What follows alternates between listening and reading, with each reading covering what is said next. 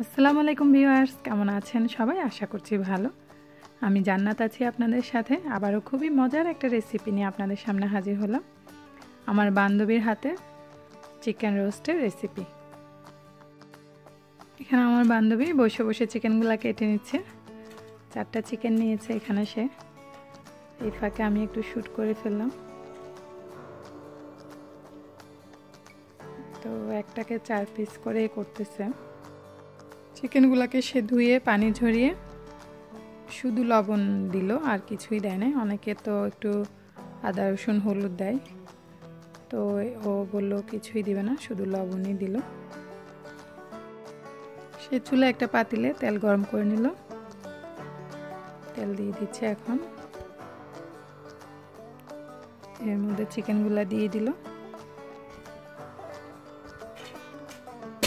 চিকেনগুলোকে একটু কড়া ভাজা করে ভেজে নেবে তেলের মধ্যে প্রথমে।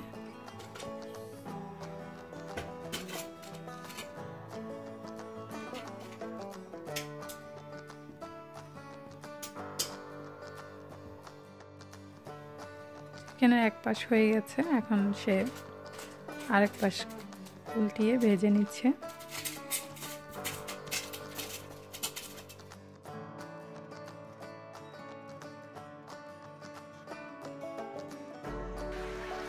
তো এইভাবে করে সবগুলা চিকেন সে ভেজে নিল। এখানে সে ফ্রোজেন নারকেল নিয়েছে কিশমিশ আর বাদাম নিয়ে নিয়েছে, এগুলাকে ব্লাইন্ড করে নেবে। এখানে টক দই নিয়েছে, দেড় কাপের মতো। এর মধ্যে দিয়ে দিল আদা বাটা, দুই টেবিল চামচ। রসুন বাটা, দুই টেবিল চামচের মতো।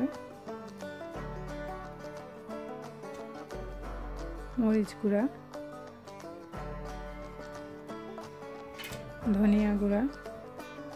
সবগুলা পরিমাণ একটু বেশিই দিচ্ছে, যেহেতু চিকেন একটু বেশি। আপনারা আপনাদের চিকেন অনুযায়ী মশলা দিবেন। জিরা গুঁড়া দিয়ে দিল এখানে।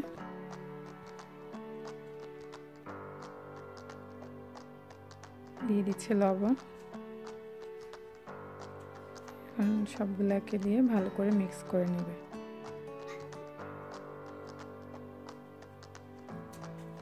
মিক্স করা হয়ে গেছে।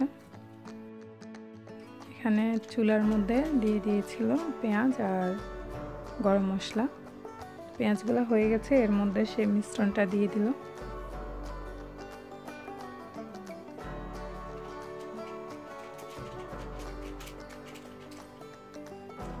ভালো করে নিয়েছে কিছুক্ষণ ঢেকে রেখে দিব মশলাটা কষানোর জন্য।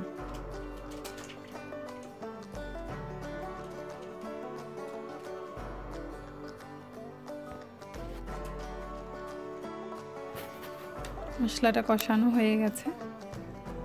এখন এর ভিতরে দিয়ে দিব বাদাম আর নারিকেল। ব্লাইন্ড করে রেখেছিল কিসমিস দিয়ে ওইটা দিয়ে দিচ্ছে। দিয়ে ভালো করে নেড়েছে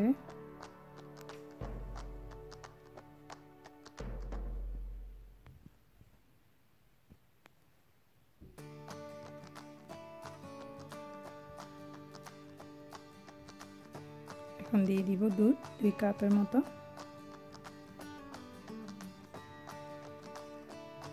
আবারও নেড়েছে ঢেকে রাখব কিছুক্ষণের জন্য। আমাদের মশলাটা কষানো হয়ে গেছে, এর ভিতরে এখন ভেজে রাখা চিকেনগুলো দিয়ে দিল। ভালো করে নেড়ে ছেড়ে এখন মশলাগুলোর সাথে চিকেনগুলো মিক্স করে নেবে। ভালো করে নিয়েছে এখন এর ভিতরে দিয়ে দিচ্ছে পেঁয়াজ বেরেস্তা। সে আগে করে রেখেছিল। অনেকে ব্লাইন্ড করেও দেয় বেরেস্তা, ও এইভাবেই দিচ্ছে।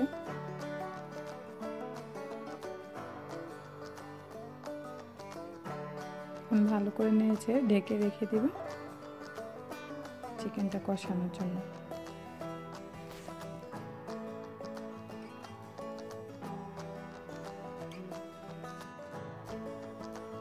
কষানো হয়ে গেছে চিকেনটা। এর মধ্যে সে একটু পানি দিয়ে দিল।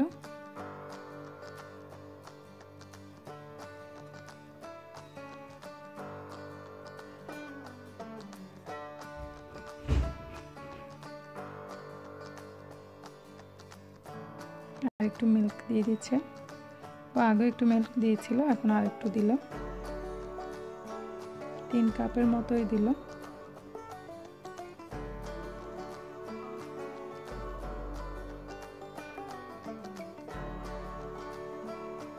আবারও ভালো করে নেড়েছে ঢেকে রেখে দিবে দশ মিনিটের জন্য। চিকেনটা কষানো হয়ে গেছে। দেখুন, এর থেকে পানিও বের হয়েছে একটু। এর মধ্যে দিয়ে দিল এখন এক টেবিল চামচ, এক চা চামচের মতোই গরম মশলা পাউডার।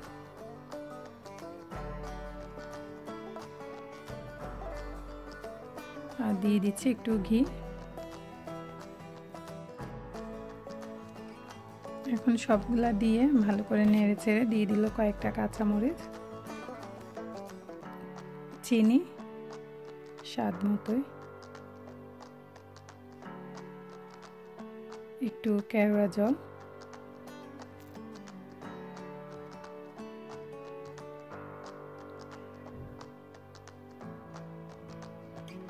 কেওড়া জলটা দিলে গ্রানটা একটু ভালো আসে। আবারও নেড়ে ছেড়ে রেখে দিচ্ছে। আরও দশ মিনিটের জন্য। তৈরি হয়ে গেল আমাদের চিকেন রোস্ট এর উপর এখন পেঁয়াজ বেস্তা দিয়ে পরিবেশনের পালা। পরিবেশন করার সময় আর ভিডিও করার সময় পাইনি, আমরা দুই বান্ধবী অনেক বিজি ছিলাম। কেমন লাগল আমার বান্ধবীর রেসিপিটি অবশ্যই জানাবেন। আবার অন্য কোনো রেসিপি নিয়ে হাজির হব। আল্লাহ হাফেজ।